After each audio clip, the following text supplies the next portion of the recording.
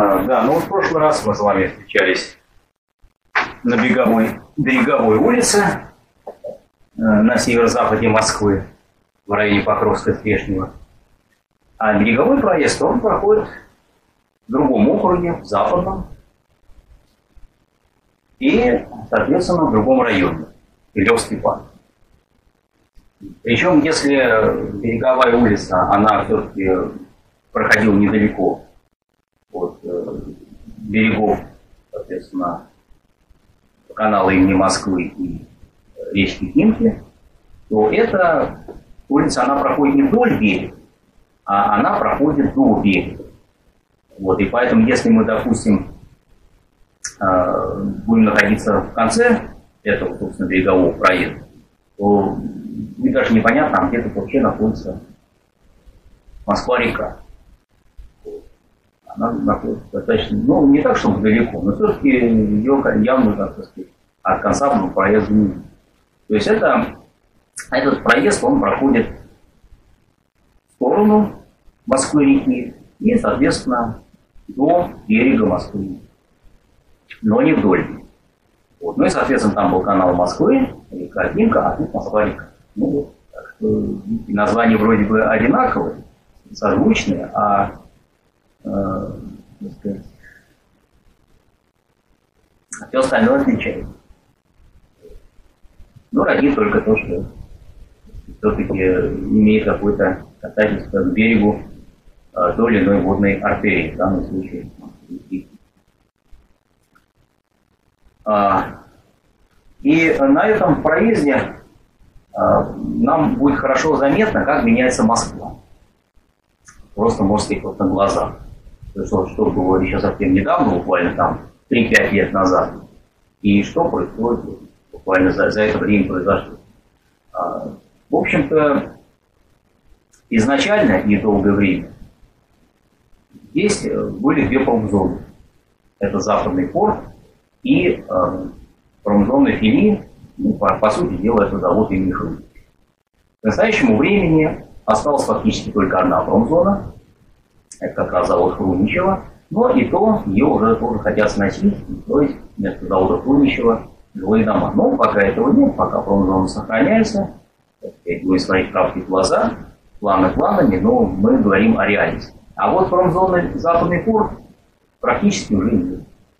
Вот, и она сейчас интенсивно застраивается жилыми домами нет ни самого западного порта, на его месте тоже строятся жилые дома, начали строить, которые, собственно, и дал название этой промзоне. Ну и нет других предприятий, практически тех, которые здесь находились, в том числе вдоль этого берегового проезда.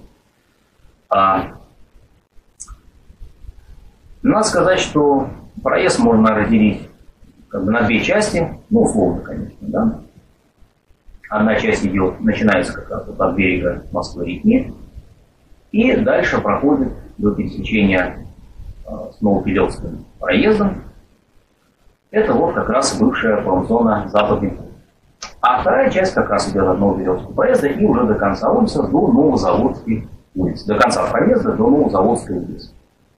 Здесь как раз с одной стороны э, вторая промзона, это завод Хруничева, а вот с, с левой стороны здесь э, некоторые живые офисные здания. Ну, он живой. Тут совсем немного. А, фактически это проезд даже не столько проезд, сколько тупик. Потому что он ведет просто к берегу Москвы-реки. Или, можно сказать, начинается от берега Москвы-реки. Естественно, что по Москве-реке это тут э, никак по воде не проедешь на машине, ни пешком не пройдешь. Моста здесь нет. Поэтому, по сути, все упрется в Москву-реку. По сути, это, в общем-то, тупик. Ну, конечно, в каком-то смысле можно назвать и проездом, в общем-то, потому что все-таки бывшие крайние промзоны, вот, и жилые дома, их совсем немного, а если они есть, только по одной стороне этого проезда. Другой точно нет. Но сейчас, опять же, идет застройка, жилыми домами уже и второй стороны проезда будет, наверное, происходить. Пока этого нет, но, наверное, это будет. И тогда уже этот проезд, он может окончательно утратить говорится, свою, так сказать, проездную суть. Наименование проезда. Пока еще все-таки хоть и с натяжкой, но назвать его проездом можно. А назван так был в 1958 году. Ну, понятно, почему по берегу Москвы. Ну, а до этого, в принципе, здесь были подмосковные земли, не было той застройки, которую мы сейчас видим. Значит, э, давайте посмотрим, кто на этой улице сейчас находится в настоящий момент. Э, берегу Москвы по такие невозможно. Все огорожено забором. Там какие-то мужички ходят, туда не пускают, зорко следят, там ворота, забор непроницаемый, поэтому берегу не проникнешь. Что это, почему там идет какая-то стройка, скорее всего, строится, э, строится жилой комплекс. Раньше там когда-то был э, как раз вот на берегу Москвы-реки, если вот мы идем от начала к концу, да, и вот, то, соответственно, слева, да, это у нас будет, то есть это мы идем начало, да, и идет вниз. Слева здесь был завод ЖБИ, железобетонный техник. Вот. В 2015 году он был полностью разрушен, строение долгое время стало заброшенным, уже довольно давно не работал, многие туда лазили, какие там фотографии какие-то были, там, сталкерские поездки, там, ну, в общем, вот там ловили, ну, в общем, страшное место достаточно. Вот, более училище углублялся по Москве рекой там рядом, который протекает. Ну, в общем, в итоге все снесли, сейчас строят а, жилой комплекс береговой, ну, тут на берегу Москвы. И также, собственно говоря, этот комплекс, он большой, и там же был еще автокомбинат ИНИ, то есть завод ЖБИ, и рядом был, за ним следовал автокомбинат. И вот на, на этой территории сейчас был береговой большой. Вот. А, и э, сразу за ним а, строится тоже большой такой, огромный комплекс, многофункциональный комплекс, Пениград Ну, он это жилой комплекс, ну, какие-то будут, наверное, скорее всего, офисные здания. А раньше был здесь деревообрабатывающий комбинат номер 7.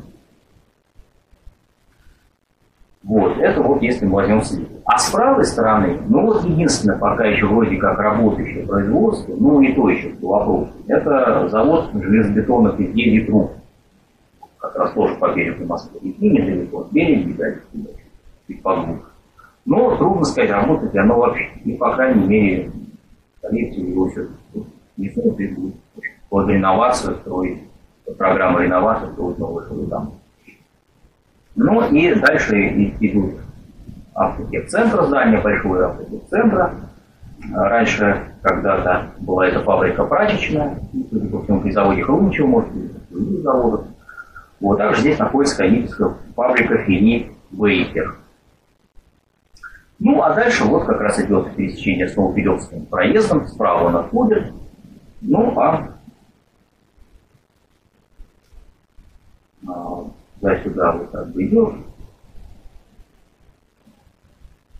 Вот вправо, а слева, вот там, по-моему, Заречная улица. Ходит. Так, и, соответственно, здесь же вскоре, вот, ну, придет проезд туда, это автодорога, да, и Заречная.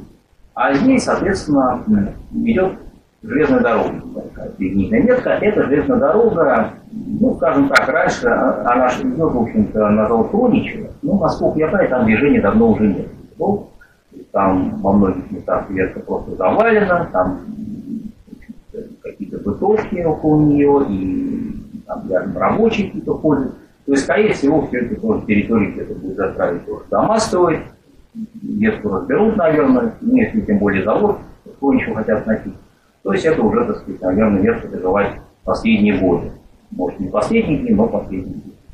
Ну, когда-то, да, поезда ездили вот от станции Пени, ветка длинная, идет от станции Пени, белорусского направления, дальше вот вдоль Заречной улицы, идет, идет, идет, дальше пересекает раз, береговой проезд и прям вот, подходит к воротам Дальше уже, если не пройдешь, не, не проедешь, там все ворота, запретный участок, и дальше она продолжается по территории завода Кручи.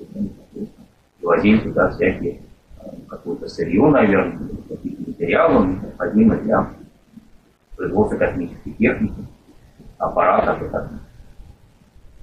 Ну, а дальше, соответственно, уже э, слева появляются жилые дома, жилые 16 этажей 2008 года постройки, дом, два дома по 5 этажей, 50-е годы постройки, в общем, современники этого проезда.